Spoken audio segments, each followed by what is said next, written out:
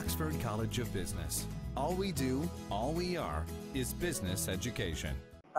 එම්ස් ආනන්දන් මං හිතන්නේ මේ ලංකාවේ සිංහල සිනමාවේ මේ අවුරුදු හැතකට ආසන්න බිහිවෙච්ච විශිෂ්ටතම චිත්‍රපටය වන නිධානය චිත්‍රපටයේ කැමරා අධ්‍යක්ෂවරයා ලෙස මහිතන්නේ සුවිශේෂ පුද්ගලයෙක් බවට පත් වෙනවා. විශේෂයෙන් කියන්න ඕන කාරණේ තමයි දැන් ලෙස්ටර් ජේම්ස් පීරිස්ගේ චිත්‍රපටිවල රේඛා විඳන් ගත්තොත් ගොඩාක් මේ එලිමාන් දර්ශන සහිත කැමරාකරණයේ දක්ෂතා පෙන්නපු විලි බ්ලේක් වගේ අය තමයි මේ ලෙස්ටර් සමග සහයෝගයෙන් වැඩ කළේ සුමිත් අමරසිංහ වගේ.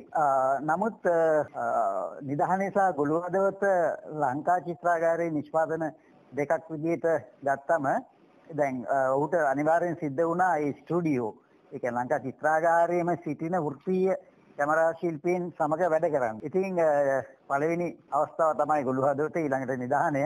දැන් මම හිතන්නේ ලෙස්ටර් ජේම්ස් ෆීල්ස් මහත්තයාවත් හිතුවේ නැති නැතුව ඇති මේ ආනන්දන්ගේ මේ ප්‍රතිභාව. මොකද මේ ස්ටුඩියෝ කැමරා ශිල්පීන් ගැන මේ අපි ඒ තරම්ම තැකීමක් කරන්නේ නැහැ.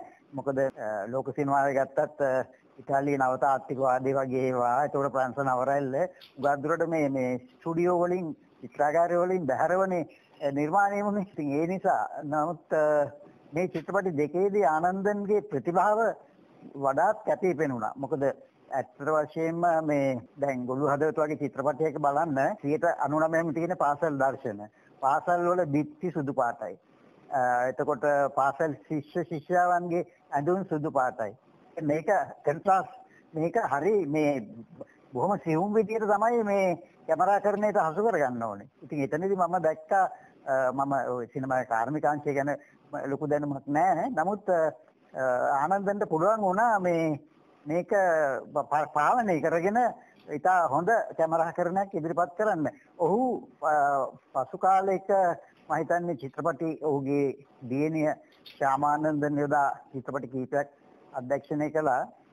ඒ චිත්‍රපටිවල බලන්න ඒ චිත්‍රපටි තාම දුර්වල චිත්‍රපටි ලෙසයි මම දකින්නේ. ඒවයි කැමරාකරණයත් දුර්වලයි. හැබැයි ඉතින් මේන් ප්‍රකට වෙන එක්තරා කාරණාවක් තමයි සිනමාව අධ්‍යක්ෂකවරයාගේ මාධ්‍යක කියන එක. මොකද ආනන්දන් පිටිපස්සේ ලෙස්ටර් ජේම්ස් පීරිස් හිටියා.